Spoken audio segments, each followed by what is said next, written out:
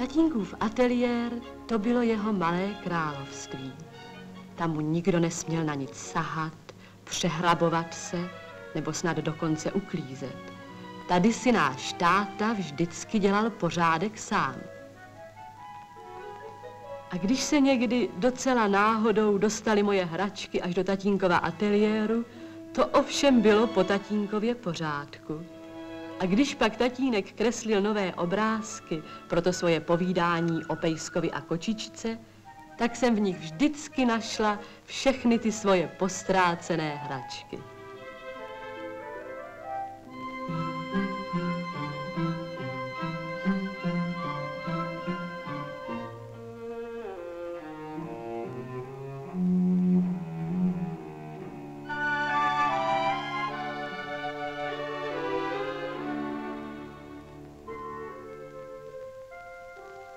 Kočka leze dírou pes oknem, nebude-li pršet, nezmoknem.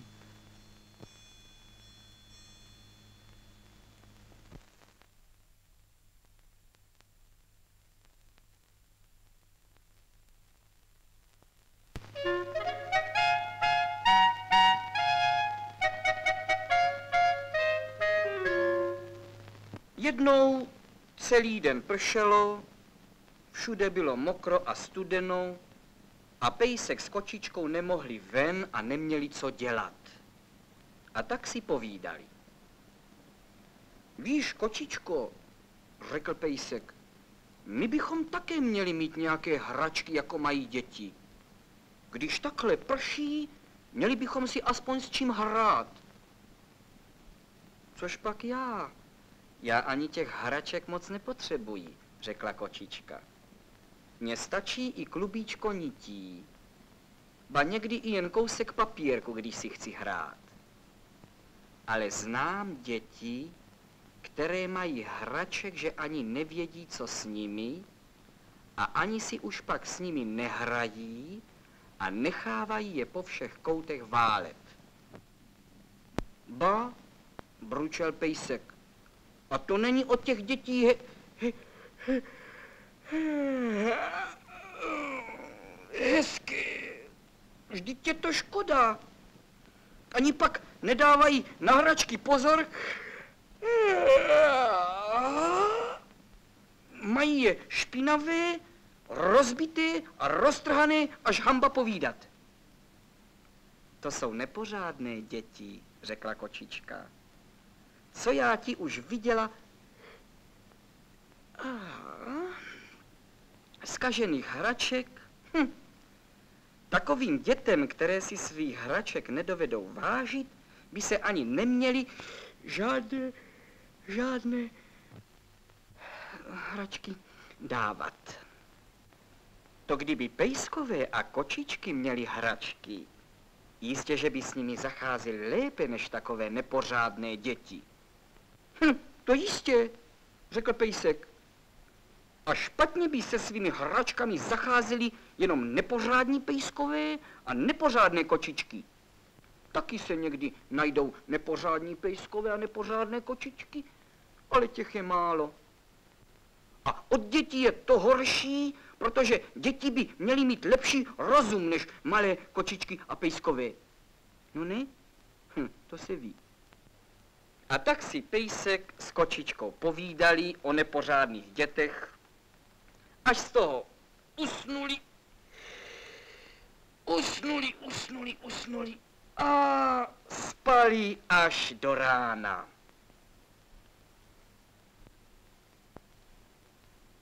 Když se probudili, svítilo už krásně sluníčko a ani trochu už nepršelo. Je pěkně, řekli pejsek s kočičkou, to půjdeme ven. A jak tak chodili venku, tak slyšeli, jak něco tence pláče.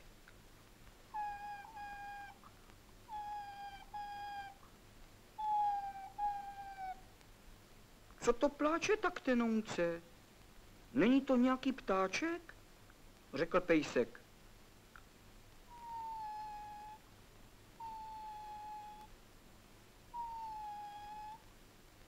To nebude ptáček, Ptáčkové ani nepláčou tak jemně, povídala kočička. To snad pláče nějaký brouček, že se mu něco stalo. A nebo to snad pláče nějaký motýl, řekl pejsek. A nebo třeba nějaká zlomená květinka, řekla kočička. I hledali a hledali a koukali se dokola, odkud to tak ten se pláče.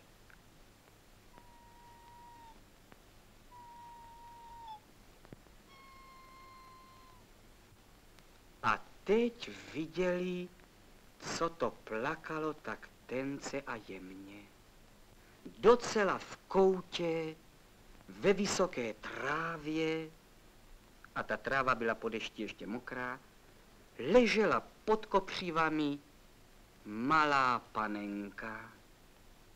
Nějaké dítě tam tu malou panenku ztratilo nebo pohodilo a panenka tam už ležela několik dní, napršelo na ní, až měla šatečky celé mokré, hlavičku měla trochu natlučenou a měla hlad a trochu kašel a bála se tam tak sama. Proč tak pláčeš, malá panenko? Ptali se jí pejsek s kočičkou. A panenka řekla, já pláču, protože mě je líto, že mne moje holčička tady tak pohodila, ztratila a zapomněla, že mám hlad a že se mě stýská tak samotný.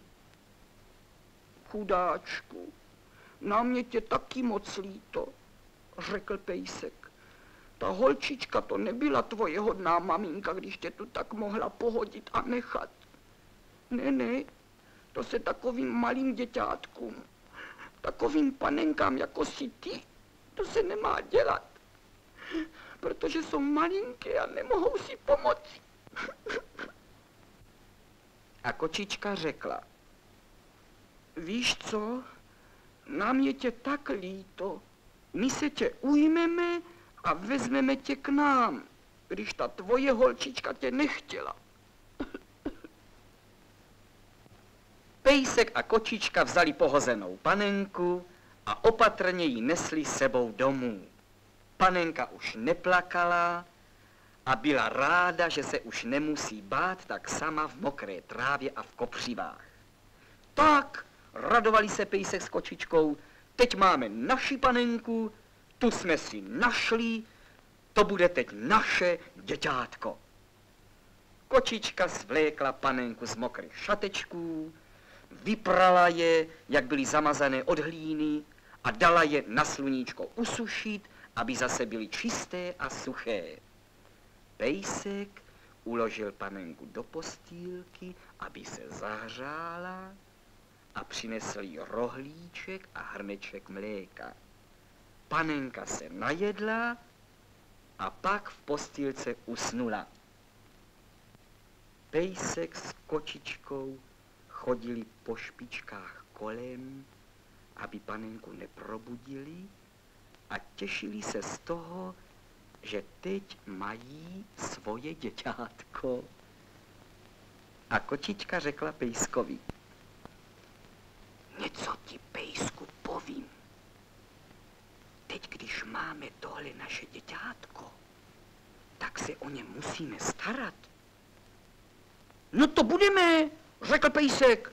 A budeme se o ní o mnoho lépe starat, než ta její nehodná maminka, než ta nepořádná holčička, co tu panenku tak pohodila. Ta panenka, ta panenka se bude divit a bude se jí to líbit, jak se bude u nás mít dobře. My, panečku, ji nikdy takhle nepohodíme. A budeme jet pěkně čistonkou, řekla kočička. To víš, my kočičky se pořád míjeme a češeme, to já si už u ní vezmu na starost. Ale, ale, oho, pejsku, na něco jsme zapomněli. Vždyť my pro ní nemáme žádné hračky. A ona si bude přece chtít s něčím hrát. A kde my pro ní nějaké hračky vezmeme, když žádné nemáme? Hm, To nemáme, řekl pejsek. S hračkami to bude u nás těžká věc. To bude, řekla kočička. Musíme o tom přemýšlet. Tak o tom pejsek s kočičkou přemýšleli, jak by přišli k nějakým hračkám pro tu panenku. Žádné neměli, udělat hračky to přece neuměli, to ani děti nedovedou, tak jak pak by to uměli pejskové a kočičky, a ukrást potají nějaké hračky dětem, když si děti hrají, to ne, to ne, to by náš pejsek a kočička nikdy neudělali. Pejsek přemýšlel a přemýšlel, až to vymyslel. Už to mám, křičel radostně, už jsem na to přišel. Nekřič tak, šeptala kočička. Vždyť nám probudíš tu naši panenku, to naše děťátko. Tak Koukej, kočičko, já ti to povím, šeptal pejsek kočičce. Přece zrovna včera jsme o tom mluvili, co děti mývají hraček a nedovedou si jich vážit a co jich poházejí a postrácejí. A zrovna dneska jsme našli tu pohozenou chudínku, malou panenku. A tak já budu hledat, jestli ještě nenajdu někde nějakou hračku, kterou děti také ztratili nebo pohodili a tu dáme té naší panence. tak je to dobře, zaradovala se kočička. Tak jdi a koukej a hledej a snad někde najdeš nějakou pohozenou hračku, kterou bychom dali té naší panence. Pejsek šel, koukal, do všech koutů vlezl, všecko prošťáral, a to si děti nedovedete představit, co on tam všecko našel. To vy, děti, ani nevíte, jakých hraček jste už skazili, postráceli a pohodili. Vy na to hned zapomenete. Ale pejsek je všechny našel. Tady v trávě našel míček. Jinde ztracené formičky a bábovečky na písek. A našel korálky barevné kostečky a nějaké nádobičko, které děti postráceli. Našel pohozená kamínka a židličku do kuchynky. Našel plno obrázků a jednu píšťalku také našel. A také lžíci a lopatku na písek. A našel postrácené dřevěné domečky a stromečky a nějaká dřevěná zvířátka také našel. Našel toho tolik, že to ani unésti nemohl. Děmine, tak se divil a radoval. To bude mít ta naše panenka hraček. Donese to všechno domů a kočička byla překvapena, co toho je. Bože, bože, bože, co ty děti toho tak rozházejí a postrácejí? Spráskla pacičkama a řekla, to já se také ještě půjdu podívat. To víš, pejsku, já umím proslídit a prosmejčit všecko, kam ty ani nevlezeš. A jistě toho také dost najdu. Kočička šla, hledala, všecky koutečky prolezla a prosmejčila. A její děti, co ona toho ještě našla? Co vy těch hraček pohodíte, zapomenete a postrácíte? Někde v plotě našla k belíček a jinde pomačkanou kropící konévku. V kopřivách našla pohozené kostečky ze stavebnice. V trávníčku našla punčošky a střevíčky ztracené z všelijakých panenek. A našla také jednu knížku s pohádkou a obrázky. A kapesníček a barevné hadříčky našla a nítě. A jinde zas našla vyšíváníčko. A taky našla jehlu kulatou, nepíchavou a našla jednu panenku docela malililinkou, panence na hraní a míček z peříčky a barevné papírky a házecí kroužek a ještě k tomu nějaké nádobičko. No našla vám toho pohozeného a postráceného, že to ani pobrat nemohla. Donesla to všechno domů a bylo toho tolik, že si z toho mohla s pejskem udělat krám na prodávání hraček. A to všechno postavili kolem postýlky té pohozené panence. Panenka se probudila a měla velikou radost, když kolem sebe viděla tolik hraček a moc se jí to u pejska a kočičky líbilo. Hrála si a hrála, hrála si s kočičkou a pejskem a všemi těmi hračkami a bylo jich tolik, že si ani se všemi dost vyhrát nemohla.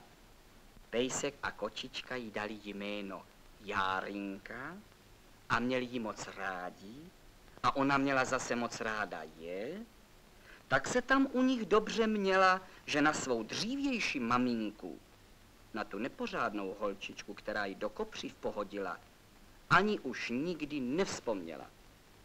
A na všechny ty hračky, které jí pejsek s kočičkou dali, dávala Járinka pěkně pozor, žádnou z nich neskazila, žádnou nikde nezapomněla, nestratila ani nepohodila. A tak to tedy bylo, že ubohá pohozená panenka měla ze všech dětí a panenek na světě nejvíc hraček.